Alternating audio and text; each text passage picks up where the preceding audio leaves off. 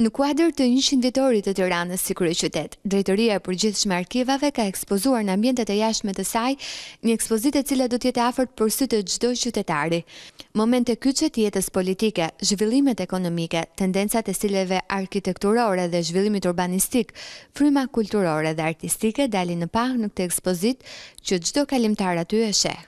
Nuk kemi bërë atë ekspozitën standarde që ne e bëjmë me njoftime në bazë të një date historie, e kemi sjellë këtë ekspozitë, e kemi nisur me Tiranën në njëqindvjetorin e Pavarësisë për shkak se jemi dhe në njëqindvjetorin e Pavarësisë për shkak se jemi dhe në njëqindvjetorin e Tiranës kryeqytet.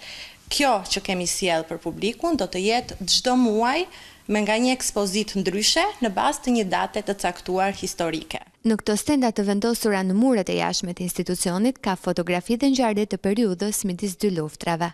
Sapo kemi përfunduar një ekspozitë në Pogradec, në datën dy kemi një ekspozitë tjetër së bashku me Muzeun Historik dhe Muzeun e Pavarësisë në Vlorë për luftën e Vlorës. Do të bëhen këto ekspozita po gjithmonë duke ju duke përmbushur pjesën e Covidit, të rregullave strikte. Në ekspozitë përfshihen po ashtu edhe vendime të Këshillit të Përhershëm të Bashkisë së Tiranës, lista e anëtarëve të Këshillit Bashkiak, foto të kryetarëve të Bashkisë së Tiranës, foto nga godinat e institucioneve, hapësirave publike, ndërtimet e reja e të tjerë.